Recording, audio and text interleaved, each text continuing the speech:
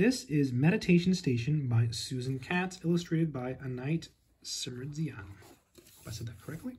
Let's take a look at this one. Nice quality pages. This one's a hardcover.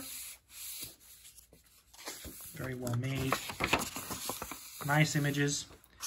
Meditation Station is a special place. I like the artwork. I like that um, it's good, right? There's lots of details. You can talk about things with your kids. Trains come and go at a speedy pace. Yeah, the rhyming is good.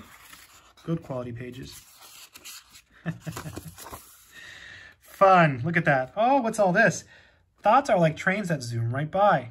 Toys. What's that over there? Wow, can I try? Oh yeah, all kinds of stuff, right? So this is a good book that you can read with your kids or to your kids. There's all kinds of things, you know, you can talk about uh, that you see in the images. You know, you can talk about what is that? You know, what are they doing there? Oh, look, there's ice cream. So you can read and discuss the pictures with your kids.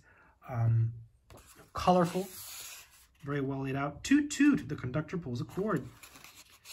Chugga chug choo choo, all aboard. So all kinds of characters. You see you have an elephant person there, really fun.